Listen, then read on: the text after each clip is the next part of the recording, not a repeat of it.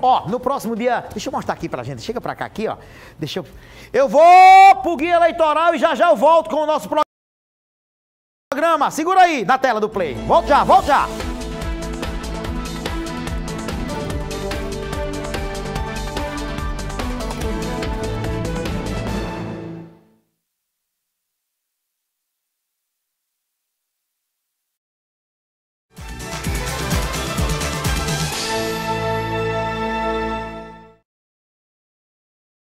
Interrompemos nossa programação para a transmissão da propaganda eleitoral para todas as emissoras. Voltaremos dentro de instantes.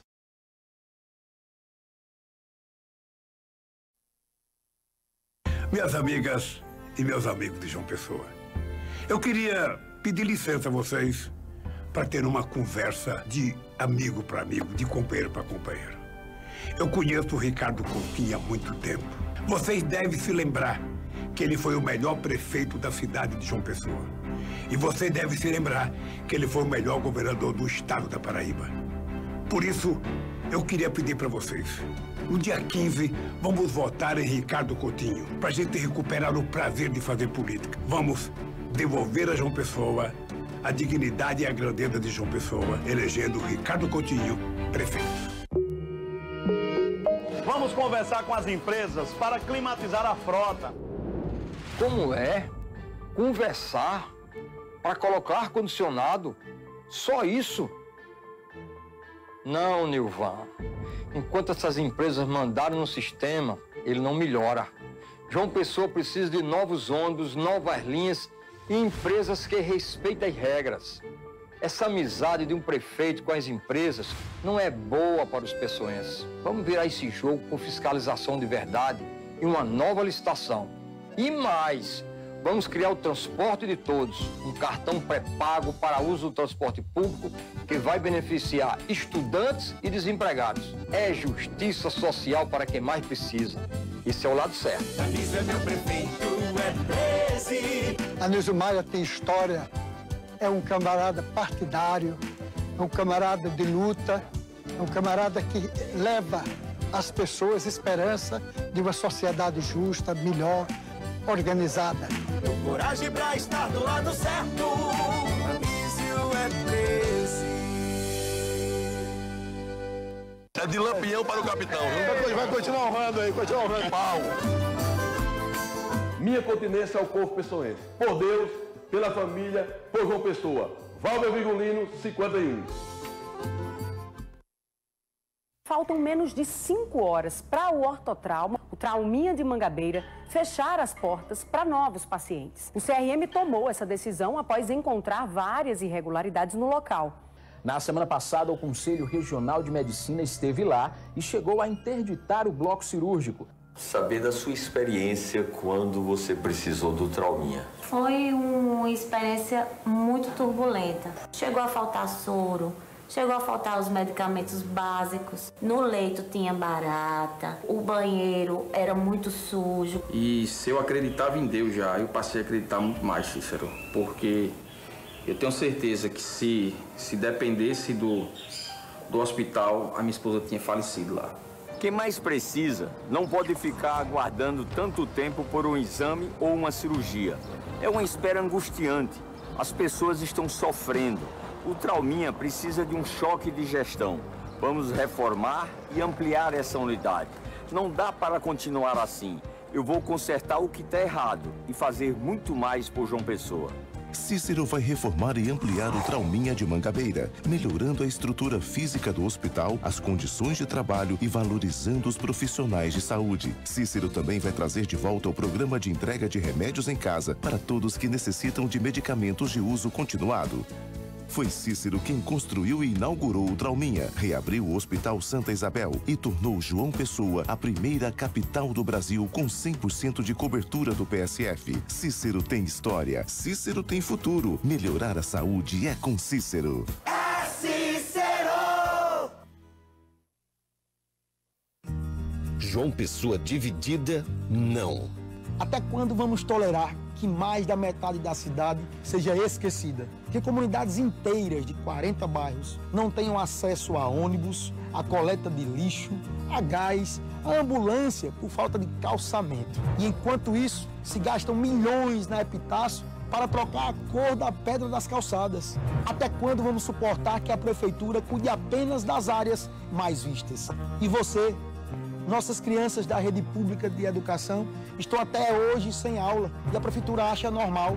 E o pior, a secretária de educação quer ser prefeita.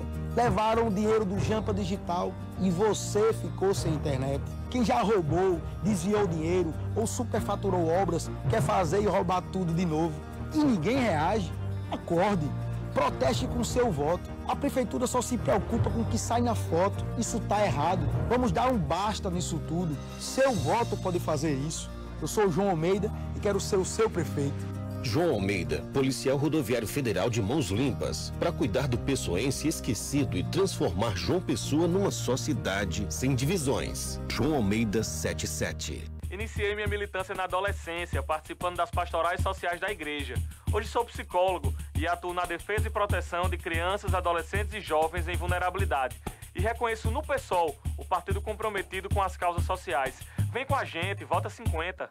Agora é Raoni, 25.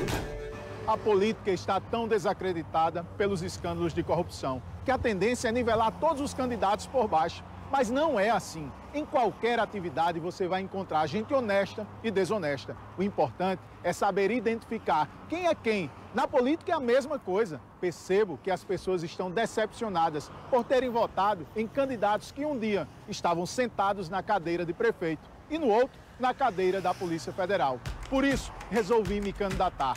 Nunca entrei pelas portas da Polícia Federal como investigado e reuni uma equipe de cidadãos do bem que desejam o bem da nossa cidade. Isso faz toda a diferença. Venha com a gente e faça a diferença você também. Conto com você, conto com seu voto. Siga-me nas redes sociais e saiba mais. Ligado nas pessoas. Raoni Prefeito. 25 é Raoni. Começa agora o programa Nilvan Prefeito. Como futuro prefeito, garanto a vocês que a minha gestão será parceira importante para quem quer construir aqui em João Pessoa. Vamos rediscutir a outorga onerosa como forma de oxigenar o segmento, gerando mais empregos na cidade. Vou agilizar os alvarás e agilizar os processos. Dia 15, vote 15. Vamos à vitória, sempre com Deus.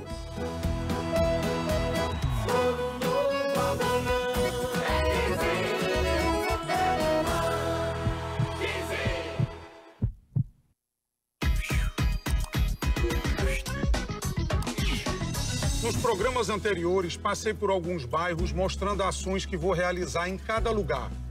Hoje é a vez do Cristo e Rangel.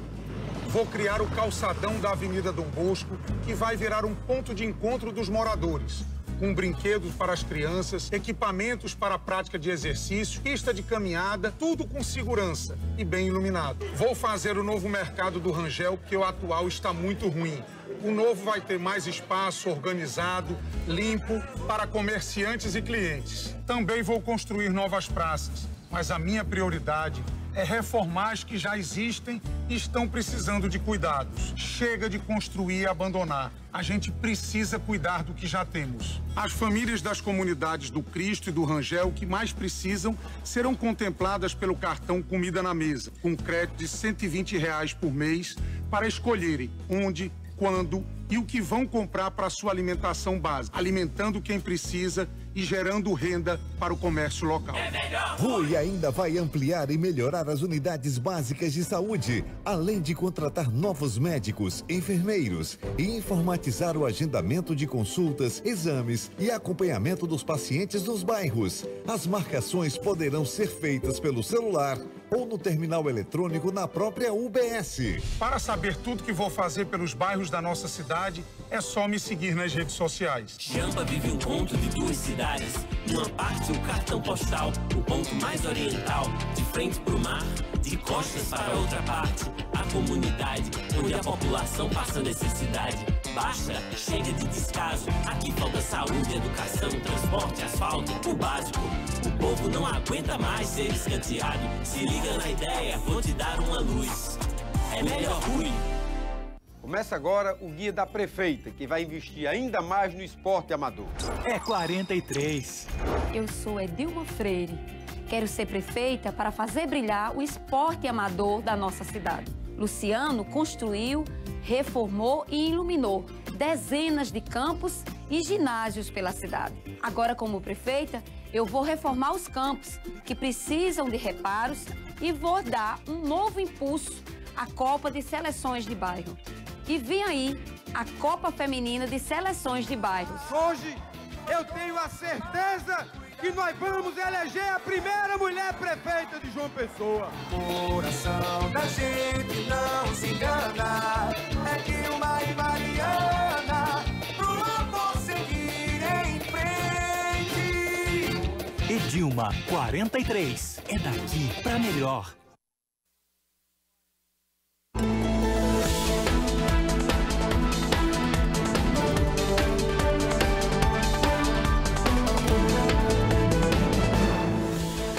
Já de volta, depois da propaganda, né? A propaganda eleitoral gratuita, o intervalo aqui rápido na nossa programação SBT aqui na Paraíba, a lei 9504/97. A gente interrompe a nossa programação e agora de volta!